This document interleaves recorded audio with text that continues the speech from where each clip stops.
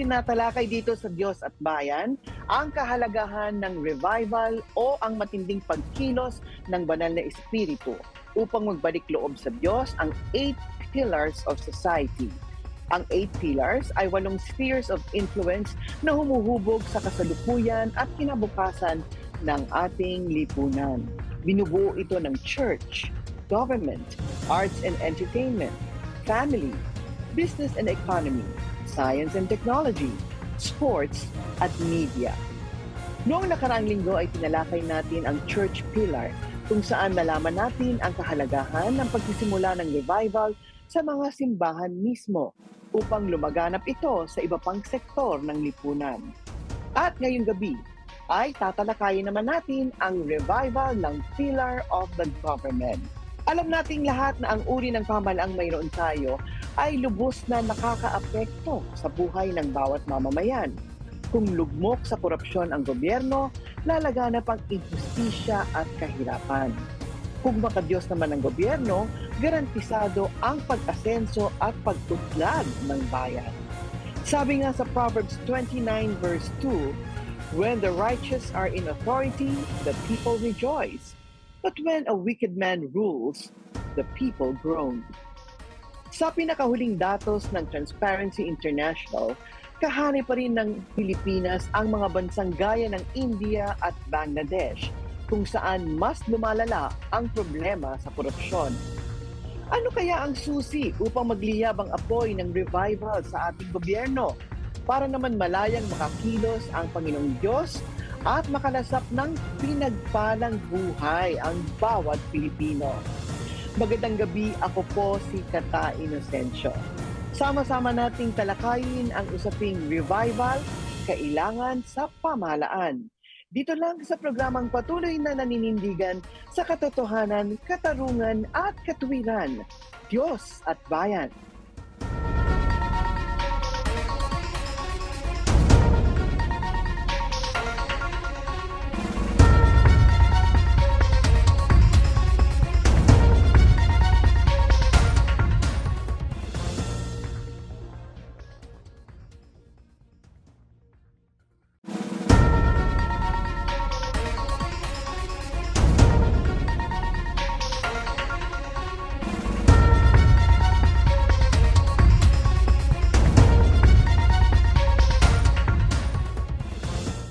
Nagbabalik ang Diyos at Bayan at tinatalakay natin ngayon ang usaping revival, kailangan ng pamahalaan.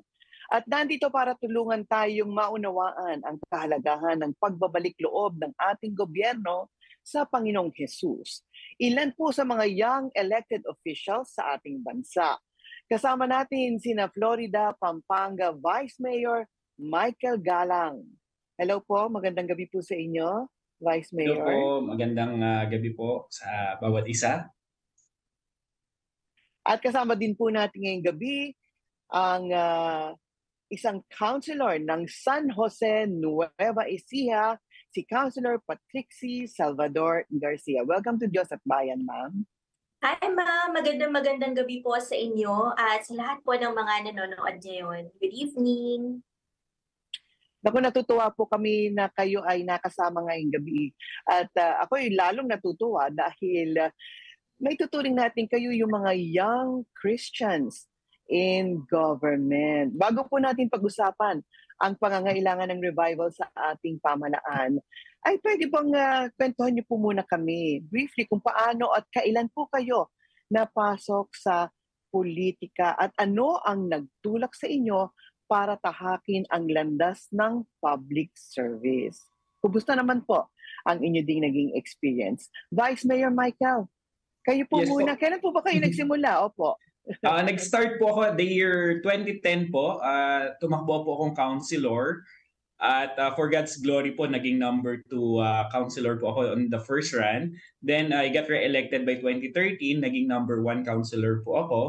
At the year 2016 po, uh, I ran for vice mayor and I became the youngest vice mayor in the history of my town, for God's glory po. And uh, ito po, uh, tinatapos na yung pangatlong term po bilang uh, BC Alcalde.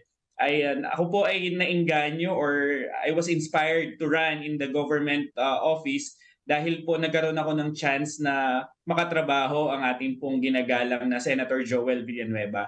So nakita ko po napakalaki ng gobyerno, napakaraming resources na pwedeng ipantulong sa ating pong mga kababayan.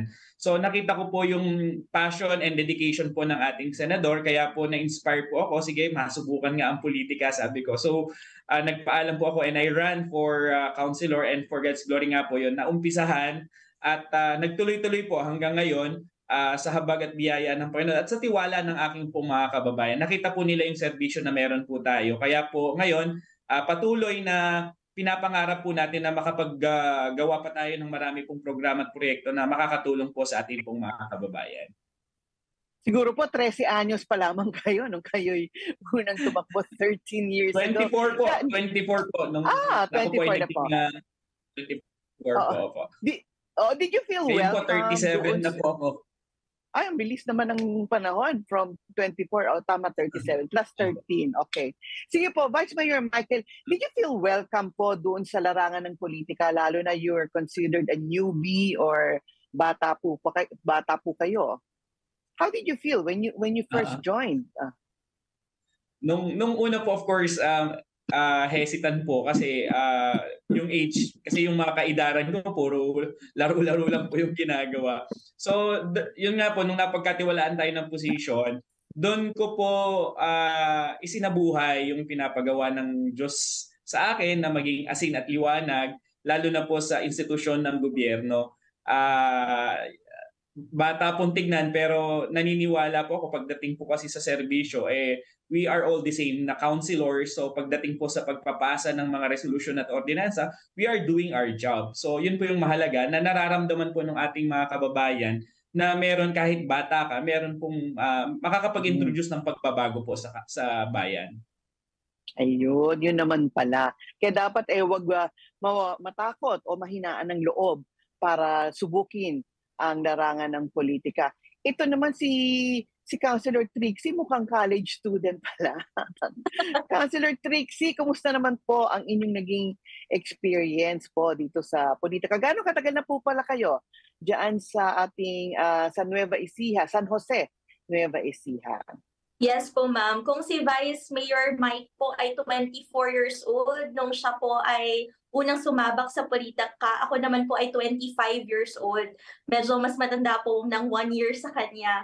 Pero yun nga po, hindi po naging hadlang yung age natin kahit po nung mga panahon din po na yun, ako ang pinakabata dahil dito po sa aming city ay kadalasan po ng mga kumakandidato, mga senior citizens, mga nasa 50s, 40s, wala po yung ganong uh, age level po dito sa amin.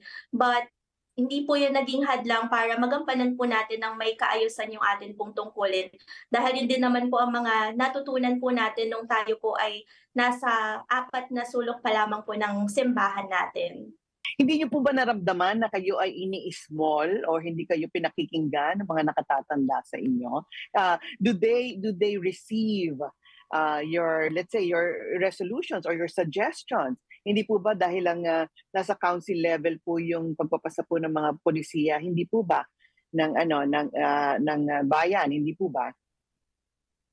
Uh, actually po, nung unang term ko, during uh, my first term po, nagkaroon ng instance na gano'n. Meron po akong isang ordinansa na pinapasa. Pero dahil po siguro nakikita nila na magiging um, advantage ko po yun ay hinarangan po kahit ng mga kasama ko. Kaya hindi po talaga may iwasan yung mga ganun. Pero nakalusot naman po at naipasa na pakita po natin yung kahalagahan ng ordinansa na atin pong isinusulong. At ngayon po ay marami na pong kabataan ang nakikinabang doon po sa atin pong ipinasang ordinansa noon pong 2017. Ayun. Kayo din po ba, uh, Vice Mayor, ano? Dahil kayo rin po, ang alam ko, ang Vice Mayor ang tumitingin nga dyan sa mga ordinansa, katulong ng, uh, ng mga uh, konsihal, hindi po ba? Ano po ba yung mga naipasa na natin mga ordinansa na talaga namang siniseryoso ng inyong bayan at ito po ay inyong napapatupad? Uh, para po sa akin yung pong mga resolution na uh, of course uh, yung pong uh, nag-solicit po tayo ng mga projects from the national government without the request of the council you cannot uh, proceed on the request. Kaya po, uh, most likely, meron po tayong participatory governance. We involve ourselves sa mga sector, kung ano po yung kailangan nila. then we address this through policy para po uh, maiparating sa mga national government agency yung mga kailangan. Aside from that, isa po sa mga naging uh, uh, memorable uh, ordinance ko po yung pag-create ng mga technical items sa munisipyo kasi kailangan po nating ma-institutionalize yung mga posisyon para makapagbigay po ng dekalidad na serbisyo sa ating pong uh, munisipyo. So those are the things na naalala ko. And even up to now po, kahit Vice Mayor, we are introducing policies that uh, expresses the sentiment of the people. Gusto ko lang pong i-take tong opportunity ito ang bayan ng Florida Blanca po ang isa sa mga unang nagpasa po nung uh, uh, resolution na nagdideklara ng persona non grata kay uh, Pura Luca. So sa buong Pilipinas po 'yon. Isa po 'yun sa expression na uh, sentimiento ng aking mga kababayan after po nilang marinig. So nagiging daan din po ang Sangguniang Bayan para po malaman kung ano hinaing po ng ating mga nasasakupan. Napakaganda po ng inyong papel ano po na kumbaga ang uh, lahat ng tao hindi lamang dun sa bayan ninyo ay accountable to the people in general kagaya ng na-cite ninyo yung si uh, Pura Luca ano po kumbaga it affected uh, everybody the, the entire nation and yet a town or even a city like yours you know can actually make a stand and make it known to the public kung ano yung stand ng inyong bayan sa mga isyong uh, that actually affects uh, affects us on a national level, hindi po ba?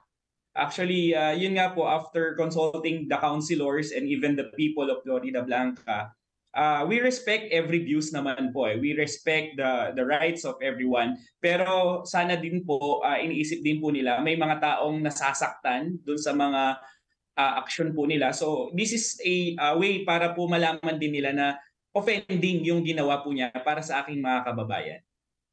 Ayan. Alam po ninyo, di ba, ang politika, eh, ika nila, eh, madumi, maraming corrupt dyan. Eh, bakit naman yan pa ang pinasok ninyo? Hindi po ba?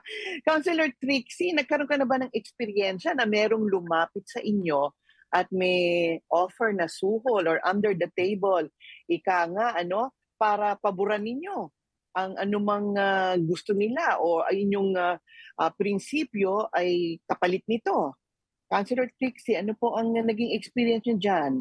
Uh, yes, ma'am. Actually po, dito po sa amin sa San Necessity, mapalad po ako na ang kasama ko po na mayor and vice mayor ay ang mga uh, uh, cousins ko po and we have the same principles ka, ka sa mga usapin pong ganito, uh, ma'am. Kaya po, uh, in my own experience, siguro po dahil kilala po nila si Mayor at si Vice Mayor at hindi na po uh, dumadaan sa sanggunian yung mga ganon, nakakat na po yung mga ganon uh, doon pa lamang po sa mataas na level. Kaya po sa akin po sa uh, almost uh, eight years ko in politics ay hindi po ako naka-experience ng ganon klase? Na, na, nasabi ninyo no on that high level si mayor pa lang kasi vice mayor ay naitatag na nila na bawal ang korupsyon, bawal ang graft, you know everything has to be on top of the table, everything has to be transparent. Ay dapat po talagang ganun ang pamamalakad. Hindi po ba sa lahat ng bayan, sa lahat ng probinsya at sa buong bayan sana ng Pilipinas. Kaya lang alam naman po natin na medyo uh, laganap pa rin ang tinatawag na corruption. In fact, mataas ang ranggo nga ng Pilipinas. Hindi po ba? Kabilang yata ang India at Bangladesh po doon sa mga bayan na you know, corrupt pa rin. K- kayo po, Vice uh, Mayor Michael, ano pong naging experience niyo sa sa larangan po, larangan ano, larangan ng corruption? Or or let's just put it uh, this way, you know, yung honest governance, di ba? And righteous governance. Yes po.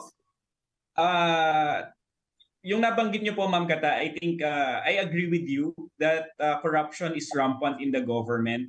Kaya lang po uh, bilang uh, isang lingkod bayan at the same time isang uh, God-fearing person, there are times po talaga na may offer na ganyan. Pero of course hindi naman po hindi kasing uh, biglaan eh. You need to to politely uh, reject yung mga ganyan po. Kasi uh, pag na-offend sila, of course, uh, para sa atin we stand on our principle. Malinaw po yung uh, yung prinsipyo po natin. Basta ang sinasabi ko lang, oh, you just need to complete the requirements. Wala po kayong kailangang ibigay. Wala po kayo. Uh, politely, sinasabi po natin na ganun po. Uh, we stick on the principle po ng ganun. Kaya po, uh, siguro, in the long run, marirealize ng mga tao, malalaman nila, ay, hindi yan nakukuha sa ganyan. So, yun po yung isa sa mga nakita ko po. When you establish your principle, sila mismo po malalaman nila kung ano pong klaseng tao o kung anong klaseng uh, leader po ang isang uh, tao. Wala po ba tayong batas na nagbabawal ng ng under the table na sana kapag may may mag-attempt na mag-offer ng anything ay agad-agad silang maaaring uh, makasuhan o makulong or or ma-persona non grata. Meron po tayo yung ethical standard for public uh, officials and employees. Any uh, monetary um no may anything na may value po na na pwede pong uh, maging exchange po dun sa decision na gagawin ng mga tao sa gobyerno can be considered uh, ano po yon uh, panunukol. Sa bagay ano, may experience po ako diyan sa isang government agency no. Uh, pag-ibig. Ayan, sasabihin ko na sa inyo. Eh ako po yung may appointment doon. Eh walang paradahan. So pumarada ako doon sa restaurant across the street. Eh, syempre kailangan kliyente ka nung restaurant. So bumili po muna ako ng mamon. Pagdating ko po doon sa office sa pag-ibig, ay inoffer ko po doon sa aking ka-meeting yung mamon. Ang sabi niya sa akin, ay bawal po yan. kahit merienda, kahit ho merienda, ayaw nilang tagapin, ano? Sabi ko, eh, sabi ko, ano ho yan eh, sa bayad ko ho yan sa parking ko. so wala naman po tayong intensyon na magpalakas sa mga ganyan. Ano? So mainam po na agad-agad kung ang isang government official ay agad-agad na nililinaw dun sa kanilang kausap na thanks but no thanks pero hindi po pwede yan. Ano? So sana nga po ganoon para ate. Ano po ba? Kayo po ay pareho po kayong uh, aktibo sa kanikanila pong mga simbahan. Ano po? Bilang mga laking simbahan, gaano po naging mahalaga ang paghubog sa inyo ng mga turo ng Biblia para mapanatili po ninyong malinis at marangal ang paglilingkod bayan ninyo? Ladies first na lang muna tayo. Councilor Trixie, kayo po. um, Ma'am, actually, um, dito po sa larangan talaga ng politika, lagi po dapat na maging asin at hilaw. Meron pong times talaga na magiging challenging yun para sa amin. Pero dahil nga po meron kaming foundation ni Christ sa amin nung kami ay mga bata pa, yun po yung aming napangahawakan na yun po yung nagiging guiding principles namin in life. Yan. Totoo po yan, ano? Train a child in the way he should go when he's old, he will not depart from it. Yun ang katuruan sa atin from the start, di ba? Kaya dapat bata pa lamang ay natuturuan na. Pero huli na ba para sa mga may edad na, na maging matino o maging maayos ang kanilang pamamahala? Vice Mayor Michael, kayo po. Y- yun po, uh, ako naman po, uh, whether you are young or old, as long as you know your, principle, ang advantage lang po ng pagiging kristyano po na nasa gobyerno, alam po namin yung pundasyon, alam po namin yung purpose, bakit po kami nandito sa mga posisyon na ito. And uh, more than that, uh, malinaw po yung mission. Alam niyo po, uh, sabi sa Bible, uh, love of money is the root of all evil kapag ang ang isang politiko, isang leader eh talagang mahal niya na ang pera, mahal niya na ang kayamanan, kaya po nagkakaroon ng chance na ayaw na nilang umalis sa posisyon, nagkakaroon po ng corruption because they have already loved money uh, above all. Kaya po uh, yung pagiging kristyano po namin, yun po yung nagre-remind na hindi yun yung main purpose namin eh. Ang main purpose namin katulad nga po ng nabanggit ni Councilor Trixie, yung maging asin at liwanag. And at the same time, uh, yung yung lifestyle, napakahalaga po nito yung lifestyle kasi kapag nagbabago yung lifestyle, nagbabago yung demand, you you need to work on on the things na wala ka. So yun po yung nagiging uh, avenue para gumawa ng ng mga hindi maganda sa loob ng gobyerno. As well po yung pong uh, yung pong mission. Kapag malinaw talaga yung mission mo na tumulong. Ang nakaka nakaka-challenge lang siguro, I believe Councilor Trixie will agree, uh, emotionally exhausting, financially exhausting ang nasa ang nasa posisyon. But you need to stand on what you have maintindihan naman po ng tao as long as you explain your side. Eh. So, yun po, uh, tinatayuan po natin yon. Uh, hindi man po natin sila ma-please lahat, pero nagiging totoo po tayo sa kanila pagdating po sa pagsaserbisyo. Oo nga po, dalang alam po natin, kayong mga local officials po, ang takbuhan ng mga may ikakasal, may namatay, may, may sakit. From, Saan from po nagagaling ang budget niyan? Oho. From whom to whom po yan. Hindi po ba na tsaka one-on-one masyadong close, in close contact kayo, no? Sa inyong mga kababayan, ano? So kumbaga lahat ng concerns nila ay dinadala nila sa inyo, dinudulog nila sa inyo. So, yung yung yung sa mga medical assistants, marami po tayong avenue na pwedeng paghingan po ng tulong mga medical assistants, burial assistants. So may mga may pondo naman po ang gobyerno. Nga lang po kami sa legislative, limitado po yung aming pondo, hindi katulad sa executive. But we are extending assistance on the capacity na meron po kami. Ayun nga lang po ang nakakalungkot, yung alam mo yung may hihingi na pangkuryente, uh, mm. hihingi na pang swimming na hindi na sana dapat ginagawa yun kasi hindi na po yun obligasyon ng gobyerno. So napakahalaga mm. na rin po dun sa revival in government is yung tao kasama, involved. Kasi when we say governance, hindi lang naman po kaming mga tao sa politiko eh yung mga politiko rather, kasama po yung mga tao na gino-govern po namin. So, yun po, napakahalaga na maintindihan ng ating mga mamamayan na ang gobyerno, wag po natin abusuhin para hindi rin nag-aabuso yung mga tao na nasa loob ng gobyerno. Ayan. Yan kasi minsan ang problema sa atin, ano, gusto natin magpalakas o lumusot, 'di ba? Yung mga favor, favor, favor, pahingi ng favor, pahingi ng favor, palibre. Kumbaga, no? Imbis na mag kumayot, magsikap, hindi ba magtrabaho? Ang, ang perception sabi, sabi po kasi kapag nanalo sa politika, parang nanalo sa loto eh. Kaya minsan nagbibiro po ako, Oho. nanalo po ako sa election, hindi po ako nanalo sa loto. hindi nyo lang alam kundi yung life savings ko ay naubos na rin, di ba? Parang ganoon. ay, nako po. Ay, ay, on, the, on the flip side, kasi ang sabi naman nila, yung bumasos ng malaki sa eleksyon, ay sa pangangampanya, ay babawiin kapag sila ay nakaupo na at nanalo na. Hindi naman po siguro kailangan, ano, dahil nga meron namang mga support uh, na meron kayo hindi po ba? May mga support din kayo for you to be able to implement your programs, hindi po ba?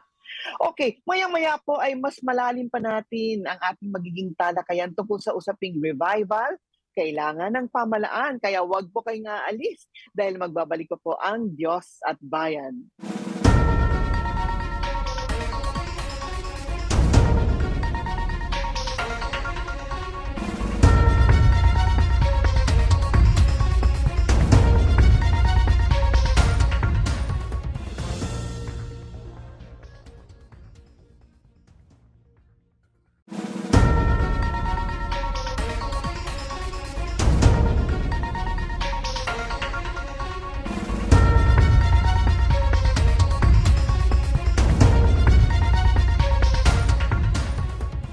Nagbabalik po ang Diyos at Bayan at tinatalakay pa rin po natin ang usaping revival, kailangan sa pamahalaan. At kasama pa rin po natin sina Florida Pampanga Vice Mayor Michael Galang at San Jose Nueva Ecija Councilor Patrixie Salvador Garcia. Ayan, welcome back to Diyos at Bayan.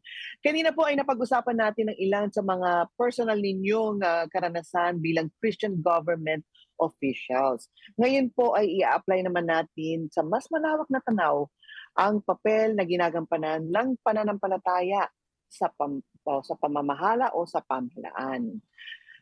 Nakakalungkot po pero hanggang ngayon po ang Pilipinas ay uh, maituturing pa rin malalang uh, may malalang problema nga sa korupsyon na pag-usapan po natin kanina.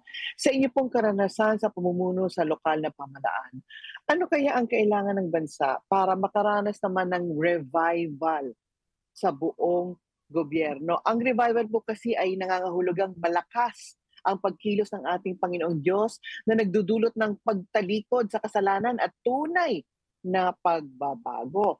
Paano kaya natin ito mararanasan sa ating gobyerno? Eh, para po makalaya na tayo po sa gapos ng korupsyon at kahirapan ng ating minamahal na bansa. Vice Mayor Michael. Opo, ah, tama po kayo. Napakahalaga po na maintindihan po natin yung role ng bawat isa pagdating po sa re- revival in in the government sector po, no? Ah, katulad po nung nabanggit ko, ah, yung pong partisipasyon ng mga tao napakahalaga po nito para magkaroon ng transformative ah, ah, effect po sa loob ng ng ng mga government offices. Dito po sa bayan ng Florida Blanca, i-share ko lang po, yung amin pong mga pastor, we are giving them opportunity na maging part po ng mga council. So nagkakaroon po sila ng boses at na kung saan pagdating po sa polisiya and na consider po yung mga uh, recommendation po nila. Uh, lalong-lalo na po dito sa bayan namin, example ko po dito yung pag-establish po ng family council. Ako, ang inyong lingkod po, uh, ako po kasi advo- advocacy ko po yung sa family. Family is the basic unit of our society. So we need to have a uh, avenue para po mapa- mapalakas yung uh, pamilya Kapag magulo ang pamilya, magulo ang komunidad. Pero pag maayos ang pamilya, nagiging maayos po ang komunidad. So isa po 'yan sa mga naging uh, advocacy po ng uh, ng uh, mga churches po natin na palakasin ang uh, ang ang uh, munisipyo through uh, yun nga po pag-establish ng family council para ma-address po yung mga issues ng pamilya. Uh, lalo na po ngayon may mga solo parent. Minsan natanong ko po ito sa aming pong meeting bakit yung mga programa at proyekto puro pro solo parent?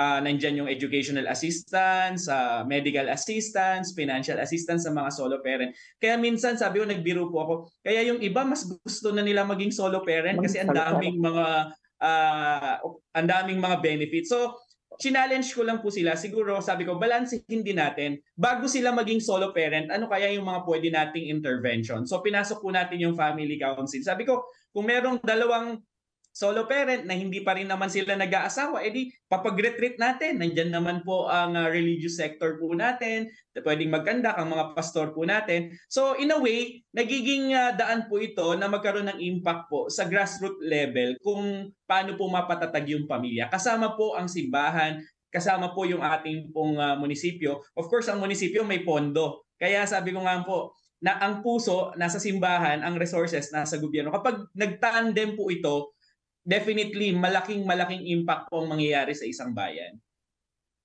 Ayun, maganda magsimula kahit sa isang bayan and that saan magkakaroon ng trickle effect. Hindi yes. po ba? Sa buong probinsya and then eventually sa buong bansa. Councilor Trixie, ano pong masasabi niyo tungkol dito po kapag ang Panginoon ay pumasok na sa ating pamamahala ay and uh, if we can expect a revival talaga that will happen? Opo, I strongly agree po sa mga sinabi ni Vice Mayor Mike, no? Pero i-add ko lang din po na siguro po yung change or revival starts within ourselves kung tayo po mismo sa atin ay meron pong pagbabago at nakikita po ito ng tao. Like for example, sa mga opisina po sa LGU, yung simpleng pag, pag hindi pag-uwi ng mga bond paper and ballpen para po sa mga projects ng kanilang anak ay isa po yung uh, example ng uh, simpleng bagay kung maituturing pero po pag na-practice po yun, yung mga ganong bagay po kasi is considered na rin na uh, corruption yung mga ganon eh. Pagka po yun ay nagawa na, ang mga simpleng bagay po na akala natin ay simple lang, pag na-practice po ito at nakita po ng ibang tao, magkakaroon po ng difference sa ating paligid at mahahawaan po natin sila positively. Ayan, napakaganda. Nagsisimula sa sarili ang pagbabago.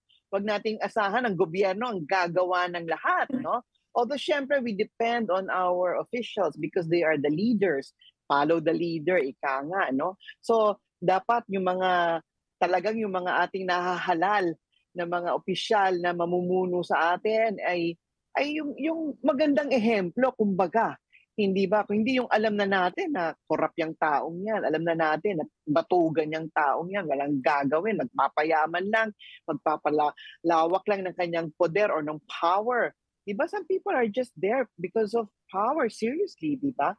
They're not really there to serve. Di ba? So, dapat tinitingnan-tingnan natin yan. Pero tayo ngayong mga mga kababayan, eh anong gagawin natin? Ayun na naman, mararat, da, ma, dadating na naman tayo sa punto na eh, sino ba yung mga hinahalal natin? Sino ba yung pinipili natin? Dapat piliin natin yung nakikitaan natin talaga ng magandang buhay, matino, uh, tuwid, hindi ba, mapagkakatiwalaan, tama ang kanyang pag-aasikaso sa kanyang pamilya, hindi siya babaero, ha? Hindi yung mga anak niya ay palaboy-laboy, wala sa paaralan. Diba? Ano bang klaseng ehemplo yan? Ano? Pero siguro dahil nga nabanggit natin kayo po ay uh, parehong mga laking simbahan, ano po, eh, eh, maganda yung sinabi ni Vice Mayor Michael na may partnership ang uh, ang gobyerno at saka ang simbahan.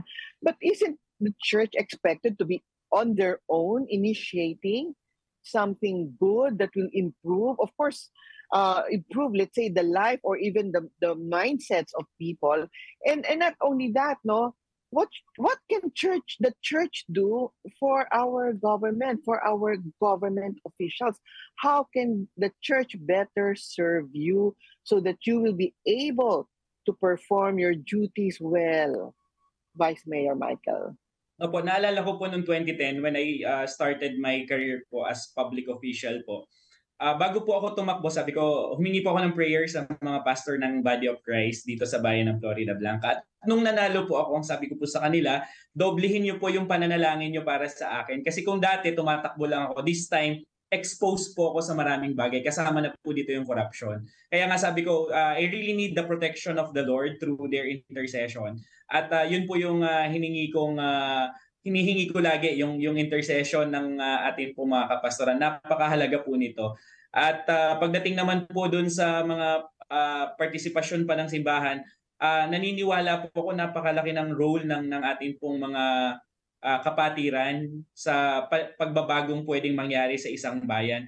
Uh, marami po kasi sa atin uh, umaattend ng church. Pero more than that uh, yung tayo bilang mga Pilipino meron din po tayong role sa ating bayan. Yung magset ng example maging inspiration. Sa mga simpleng paraan po we can inspire our uh, kababayan para po magkaroon ng pagbabago. Uh, simpleng ilustrasyon lamang po uh, kapag po ako nagsasalita sa mga PTA sabi ko more than dun sa mga physical project ng mga PTA ang pinaka uh, isa rin sa mga kailangan po nila, yung i-motivate yung mga magulang para sa development ng ating mga kabataan.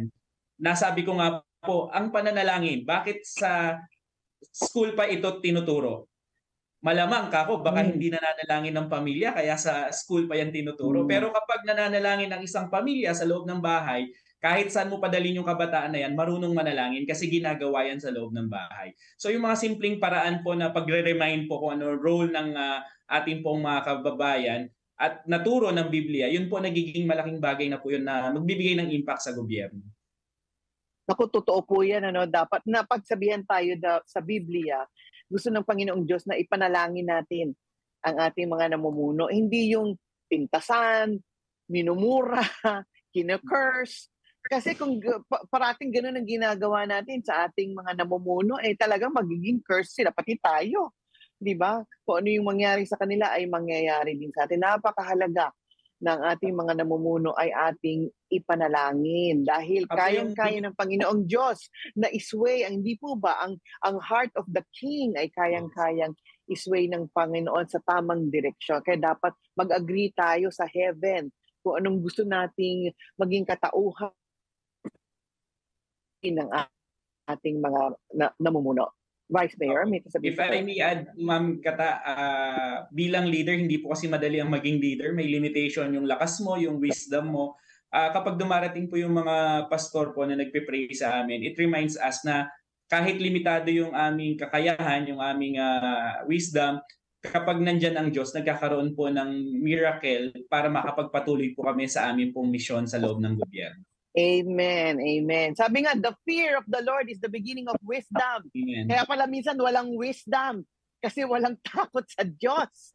Hindi ba yung pala ang formula? Ayan, Councilor Trace, eh, Trixie, ano po ang inyong masasabi sa ating taong bayan at sa ating mga simbahan? How can we assist you and how can we, we work with you for your success? Ah, I agree pa rin po sa mga sinabi ni Vice Mayor ah, Mike. Tama po yung sinabi niya na talaga pong yung mga prayers talaga ng church family, ng church community ang kailangan po ng mga namumuno sa atin.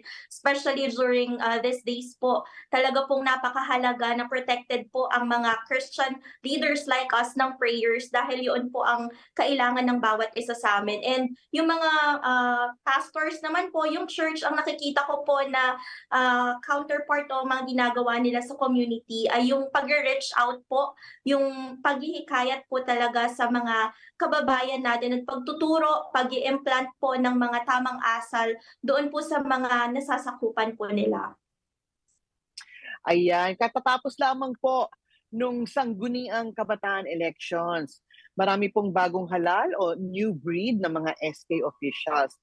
Sa kasamaang palad po, ay isa po sa mga matitinding kritisismo sa SK ay sila daw, ito daw ngayon ang bagong o naging training ground para sa korupsyon.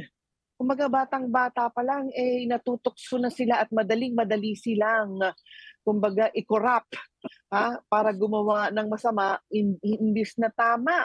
Maging ambisyoso, walang pakialam kung ano ang maaapakan nila, basta lang marating nila yung tagut, ah, tugatog ng tagumpay.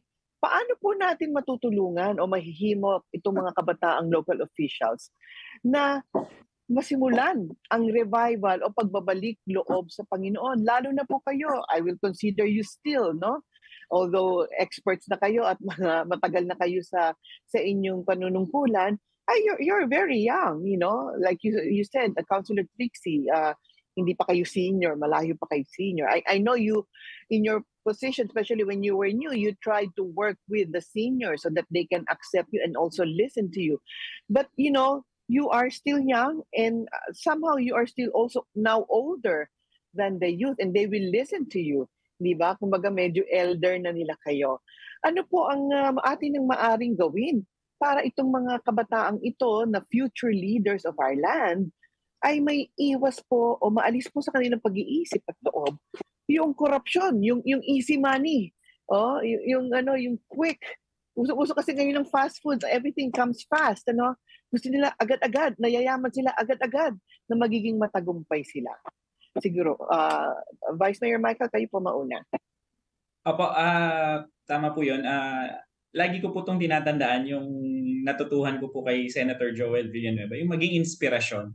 Kapag nakita po nila sa atin yung kung paano po yung isang pamumuno eh pwede naman palang ganito, um, matino, mahusay, may puso. So makikita po nila na you cannot speak what you don't have. Hindi mo pwedeng i-share yung wala ka. So kailangan mauna muna sa sarili po natin yun.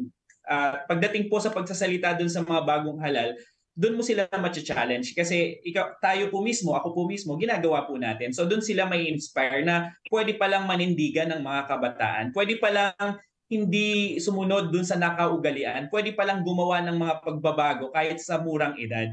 And I always claim yung promise ng Lord sa Jeremiah 1.7, Do not say that you are young, God, that I have appointed you. Sabi ng Panginoon, do not be afraid or terrified because of them. So yun po yung lagi kong claim eh. Kahit bata ako, alam ko may purpose ang Lord sa buhay ko. Kaya I need to stand out. I need to to stand on my faith. So you need to challenge also these young people na hindi porke bata kayo dahil in-SK, SK lang kayo. Eh you have your own mandate, you need to do something that will leave a legacy dun sa mga sinasakupan nyo. So, you need to challenge the young people na manindigan din po para sa pagbabago sa loob ng gobyerno. Gusto ko yan. Stand on, not just stand on your feet, but stand on your faith. Dapat may paninindigan ka. Councilor Trixie, kayo po, ano pong masasabi po ninyo?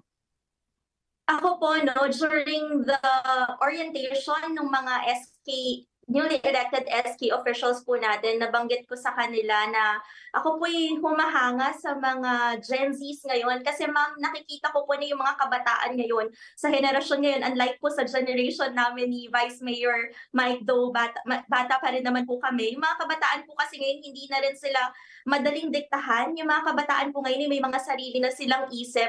Kaya po mas madali na for them to understand kung ano po yung mga dapat nilang gawin at hindi dapat. Kaya po, kapag ka po may nakita sila na positive influence sa kanila, I believe po ay makakarry po nila yon at madadala nila at magagaya po nila.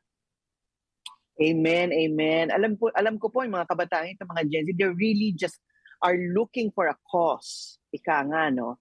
Dahil they also want to be busy, they want to be involved somehow, but they are looking for a cause. Now, we should help them, you know, get to that cause and find solutions to that cause and give them those opportunities. Di ba? Naalala ko nga si si batang-batang si King David, shepherd, young man, ano?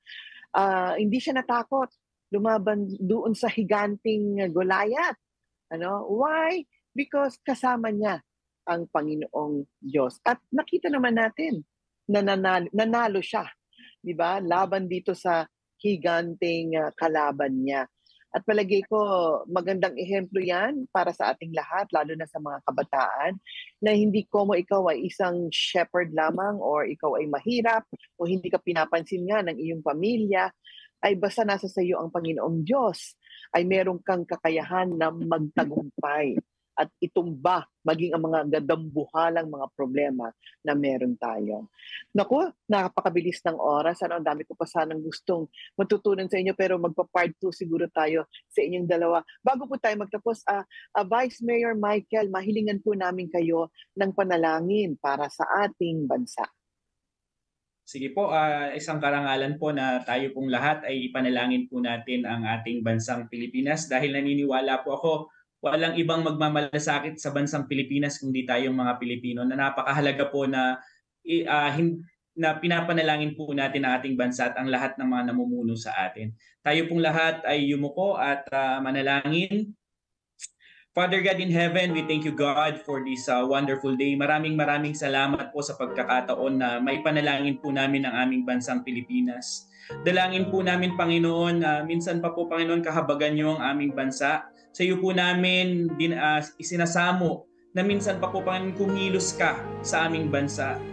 Lord, kayo po ang pumupukaw sa damdamin ng mga aming mga opisyal, Panginoon, sa tatlong uh, branches ng aming uh, gobyerno, sa mga constitutional uh, body po namin, Panginoon. Lord, let the fear of the Lord ang maghari sa lahat ng mga opisyal, pasimula po sa aming pong presidente hanggang sa pinakamababang opisyal ng aming gobyerno. Dalangin po namin, Panginoon, ay timo niyo po sa aming mga puso ang pagkatakot sa inyo upang magampanan po namin ang aming mga trabaho na nakakalugod sa inyo. Dalangin din po namin, Panginoon, na protektahan niyo ang aming mga uh, nanunungkulan. Ilayo niyo po kami sa anumang tukso. Bigyan niyo po kami ng sapat na lakas upang mapagtagumpayan kung ano man po ang ino-offer ng kalaban at kung ano man pong mga tukso ang ibinibigay sa amin. Lord, kayo po ang magbigay ng tagumpay sa amin upang maging uh, asin at liwanag po kami sa aming mga nasasakupan.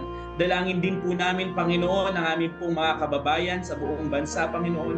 Naway kayo po ang magbukas ng kaisipan at puso, Panginoon, na ang tunay na pagmamalasakit sa aming bansa ay hindi lang po nakaatang sa mga opisyal, bagkus nakaatang po ito sa bawat Pilipino. Dalangin po namin, Lord, na ang bawat Pilipino ay mag-participate Lord, makialam at makiisa, Panginoon, sa, sa pagbabago na gusto po naming maranasan sa bu- buong Pilipinas. Lord, kayo nawa po ang patuloy na mag-guide sa amin, Panginoon.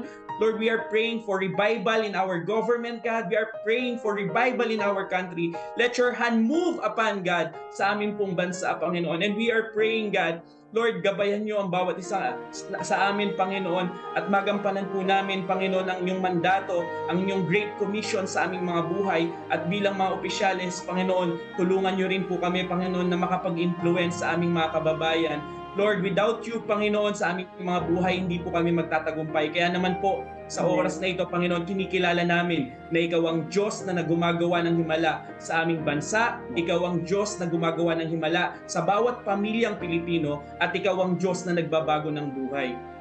Panginoon, sa iyo po namin ipinagkakatiwala ang aming bansa. Naway lagi po yung mapurihan sa bansang Pilipinas. Ito po ang aming panalangin sa pangalan ni Jesus. Amen and amen. Amen and amen. Napakagandang panalangin para sa ating bansa. Maraming maraming pong salamat sa inyo.